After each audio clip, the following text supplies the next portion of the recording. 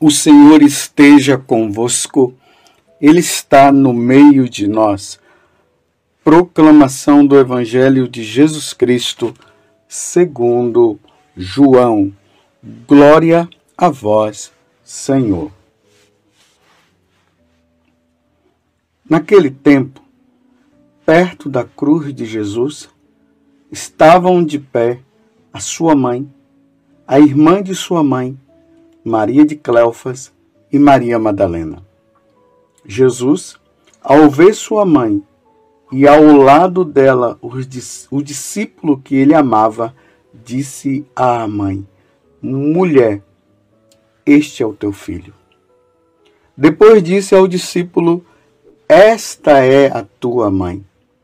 Daquela hora em diante, o discípulo a acolheu consigo. Depois disse: Jesus, sabendo que tudo estava consumado, e para que a Escritura se cumprisse até o fim, disse: Tenho sede. Havia ali uma jarra cheia de vinagre. Amarraram numa vara uma esponja embebida de vinagre e levaram-no à boca de Jesus. Ele tomou o vinagre e disse: tudo está consumado. E inclinando a cabeça, entregou o Espírito. Era o dia da preparação para a Páscoa. Os judeus queriam evitar que os corpos ficassem na cruz durante o sábado, porque aquele sábado era dia de festa solene. Então pediram a Pilatos que mandassem quebrar as pernas aos crucificados e os tirasse da cruz. Os soldados foram e quebraram as pernas de um e depois do outro que fora crucificado com Jesus. Ao se aproximarem de Jesus e vendo que Jesus estava morto, não lhe quebraram as pernas, mas um soldado abriu-lhe o lado com uma lança e logo saiu sangue e água. Palavra da salvação, glória a vós, Senhor. Meus irmãos e minhas irmãs, ontem nós estávamos celebrando o dia de Pentecostes. O Espírito Santo veio sobre os apóstolos e a Virgem Maria também estava lá naquele momento. E eles começaram a falar novas línguas eles começaram a se encher da graça, do poder do Espírito. O Espírito Santo desceu sobre eles em forma de línguas de fogo. E eles começaram a pregar. E nós vimos Pedro que, saindo ali do cenáculo, ele começou a pregar a boa nova, mostrando para aquelas pessoas que Jesus, o filho do carpinteiro, o filho de Maria, ele é o filho de Deus. Só que um dia depois, a igreja comemora esse título maravilhoso de Nossa Senhora. Nossa Senhora tem vários títulos. Ela é a mãe das virgens, ela é a rainha dos anjos. Ela é a concebida sem pecado original. Ela é aquela que foi assunta ao céu. Mas a igreja ela traz um título, a igreja católica, muito bonito para Nossa Senhora, e é o que nós estamos comemorando hoje como memória obrigatória. Maria, a mãe da igreja. Mas por que, que Maria é a mãe da igreja? Simplesmente porque ela é a mãe de Jesus. São Paulo, no capítulo 12, do versículo 12 até o 14, na, na primeira carta aos Coríntios, ele diz o seguinte: ele compara a igreja como um corpo. O corpo é formado de cabeça, de troncos, de membros, eh, de órgãos. Assim é formado um corpo. E ele diz o seguinte: que esse corpo, que aí nós damos o nome de corpo místico de Cristo, tem por cabeça o Cristo e tem como membro os membros do corpo cada pessoa que pertence a essa igreja, os membros, as pessoas que pertencem à igreja católica. Então Jesus é a cabeça, nós somos os membros. Acho que deu para você compreender. Então, uma vez que Jesus é a cabeça e nós somos os membros, e a Virgem Maria, ela é mãe de Jesus, mãe de Deus, porque Jesus é Deus. Então, Jesus nos dá Maria como nossa mãe, como nós acabamos de ouvir aqui no Evangelho, porque São João ele representa aqui todos os membros da Igreja Católica. Então, como Jesus nos dá ela como mãe, então é lógico que ela é a mãe da igreja. Ela é nossa mãe.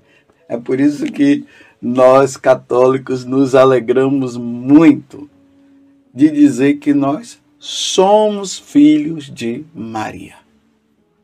Para nós isso é uma alegria muito grande. Infelizmente, os nossos irmãos protestantes, levado aí pelo, pela questão do protestantismo, não compreenderam isso e acabam até de uma certa forma desprezando Nossa Senhora. E eu não penso na minha lógica, na minha cabeça, eu jamais iria entender que uma vez que nós desprezamos é, Nossa Senhora, ou nós não, né?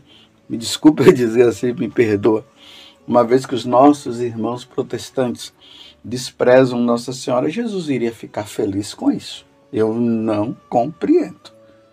Imagine, eu tenho a minha mãe e as pessoas desprezam minha mãe, falam mal da minha mãe e eu iria me alegrar com isso? Não, não tem lógica. Sim, mas isso aí são os protestantes. Nós somos católicos e Maria é mãe da Igreja Católica, sabendo que o fundador da Igreja Católica é Jesus Cristo. Quantas vezes eu já falei para vocês, né? Jesus é católico. Por que, que Jesus é católico? Porque ele é o fundador da Igreja Católica. Pedro, tu és Pedro, e sobre esta pedra eu edificarei a minha igreja, e as portas do inferno não prevalecerão contra ela. Jesus funda a igreja no momento em que ele morre na cruz, como nós acabamos de ver aqui no Evangelho. E é interessante que São João, aqui no final, nós estamos no capítulo 19, do versículo 25 até o 34 do Evangelho de São João. Aqui vai dizer assim, no versículo 33, ao se aproximarem de Jesus e vendo que já estava morto, não lhe quebraram as pernas, mas um soldado abriu-lhe o lado com uma lança e logo saiu sangue e água. A igreja, por meio dos santos doutores, e pelo é, é, pela tradição da igreja, pelos ensinamentos dos santos padres, pelo depósito da fé, nos ensina o seguinte: que quando se diz que do lado de Jesus, quando aquela lança penetrou, saiu sangue e água. O sangue simboliza a Eucaristia. A água simboliza o batismo. A igreja, ela se forma do batismo de nosso Senhor Jesus Cristo e da Eucaristia. A igreja católica é assim. Imagina, uma pessoa jamais se tornaria católica sem se, sem se batizar. E nós jamais perseveraríamos na Igreja Católica sem a Eucaristia, sem a Santa Missa. Simples assim. Se nós tiramos o batismo da Igreja Católica e nós tiramos a Santa Missa, aqui é a Santa Missa por causa da Eucaristia, nós não somos nada. Nós deixamos de ser católicos. Então, aqui nasce do lado de Cristo o sangue, a água. Sai o sangue e a água. E aí é o símbolo dos sacramentos que nos santificam. No dia de Pentecostes, o que foi que aconteceu? Os apóstolos saíram como missionários para pregar a boa nova, mas a igreja nasce do lado de Cristo, do da paixão, da sua morte, no momento em que a lança penetra no lado dele e sai sangue e água. Aí nasce a igreja. Repito, a igreja católica. Uma vez que nós pertencemos a esta igreja, que é católica, e aí nós precisamos entender mais uma coisa: ela é católica porque ela está em todo mundo, em todo lugar do mundo, aonde você for, tem membros desta igreja que ali está celebrando a Eucaristia, celebrando o, os sacramentos, se reúnem e participam da Santa Missa, são catequizados em todo o mundo ainda que seja uma igreja só, aqui eu, eu digo igreja só, no sentido de que a palavra igreja quer dizer eclésia, que quer dizer reunião, convocação. Então, ainda que sejam convocados naquela cidade ou naquele país somente um grupo, ali é a Igreja Católica. Por exemplo, lá na Terra Santa, na cidade de Jericó, existe apenas uma igreja, a Igreja do Bom Pastor, a Igreja Católica, e ali estão os cristãos reunidos. Mas aqui no Brasil nós temos o que? Diversidades de, de, de igrejas católicas. Em uma cidade nós vemos muitas igrejas católicas. Mas aqui eu não estou dizendo que são muitas igrejas católicas no sentido que são igrejas separadas. Não, é uma igreja só representada por essas comunidades que se reúnem, quer seja numa catedral, quer seja numa basílica, quer seja numa capela. Você está compreendendo? Então, essa igreja que é católica, que tem Jesus como cabeça e nós, como membros, nós temos então Maria, que é mãe de Jesus, e uma vez que ela é mãe de Jesus, ela é nossa mãe, porque aos pés da cruz, como, como nós acabamos de ouvir agora no Evangelho, Jesus fala para João: João, eis aí tua mãe. E ele olha para ela e diz: Eis aí o teu filho. Como eu já falei antes, só estou repetindo para ficar mais claro para nós. Então, João representa todos os católicos do mundo inteiro. E uma vez que Jesus está dizendo para Maria, eis aí o teu filho, ele está dizendo que todos nós, como membros da Igreja Católica, da Igreja Católica, nós somos filhos de Nossa Senhora. Ela é mãe da igreja, ela é minha mãe, ela é sua mãe. Agora, se tem aqueles que rejeitam, problema deles. Eu creio no que a Igreja Católica ensina, eu creio no que Jesus falou. João, eis aí tua mãe. Então ela está dizendo, Padre José Augusto, a minha mãe é tua mãe. Aí você quer André, você quer Maria, você quer João. Ele está dizendo a mesma coisa. Então, Maria, a mãe da igreja. Mãe da igreja católica. Isso precisa ficar bem claro, porque a igreja de Cristo é uma só. Você entendeu isso? Mas, Padre José Augusto e tantas igrejas que estão aí, meus irmãos, a Igreja Católica, a Igreja de Cristo, é a Igreja Católica. Isso é o que o Catecismo da Igreja nos ensina. Os santos padres nos ensinaram no decorrer da igreja e o próprio Cristo falou a minha igreja, ele não falou as minhas igrejas. Agora, se os outros estão dizendo aí que aonde eles estão é igreja, aí é problema dele, deles. Eu não estou dizendo por uma dedução, eu estou falando a partir de uma verdade. Eu pertenço e você pertence à Igreja Católica, à Igreja de nosso Senhor Jesus Cristo. E nessa Igreja Católica, que Jesus fundou quando ele morre na cruz, Logo depois que nós somos batizados, porque Jesus falou que para se tornar membro desta igreja é preciso ser batizado. Foi isso que Jesus falou lá no Evangelho de São Marcos, no capítulo 16. Ide por todo o mundo, ele envia os apóstolos. Ide por todo o mundo e pregai o Evangelho a toda criatura. Quem crê e for batizado será salvo.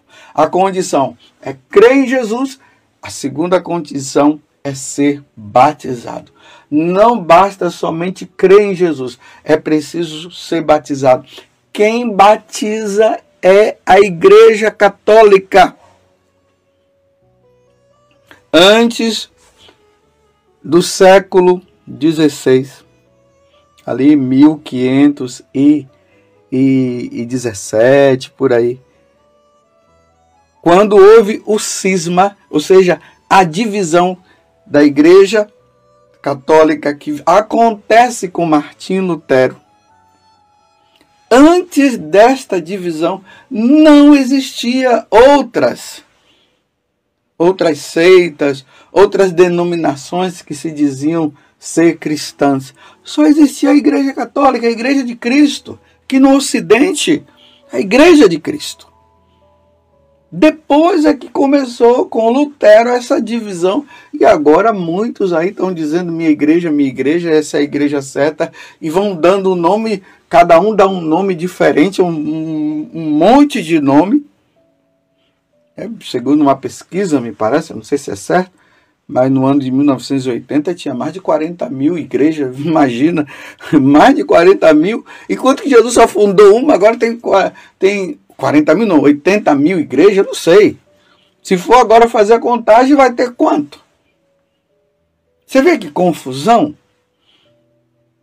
Então hoje nós olhamos para Nossa Senhora, a mãe da igreja, e rezamos, como diz na oração da coleta da Santa Missa, que diz assim: Deus Pai de misericórdia, vosso Filho pregado na cruz, nos deu por mãe a sua mãe, que é o que acabei de dizer. Pela intercessão amorosa da Virgem Maria, fazer que a vossa igreja, tá vendo aqui, meus irmãos, com clareza, a vossa igreja, qual é a igreja? A católica. Não são as outras que estão por aí. Fazei que a vossa igreja, é isso que nós padres estamos rezando hoje na Santa Missa, fazei que a vossa igreja se torne cada vez mais fecunda. O que significa se tornar mais fecunda?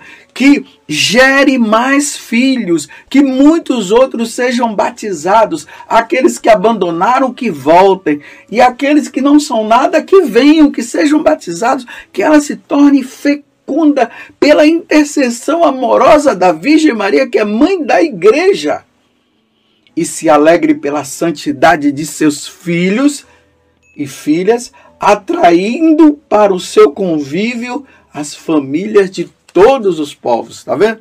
Que todos os povos, todos os povos se tornem católicos pela intercessão de Nossa Senhora. Que coisa maravilhosa, meus irmãos. Maria, mãe da igreja, nós nos voltamos para ti, ó oh mãe, e pedimos hoje que realmente aquilo que nós estamos rezando no sacrifício da Santa Missa, que a que a igreja do teu filho e a senhora, a tua igreja, porque a senhora é mãe, porque Jesus é o seu filho, que ela se torne cada vez mais fecunda, que muitos, muitas pessoas encontrem o caminho da salvação. Maria, mãe da igreja, rogai por nós. Louvado seja nosso Senhor Jesus Cristo, para sempre seja louvado, e a sua mãe, Maria Santíssima. Amém.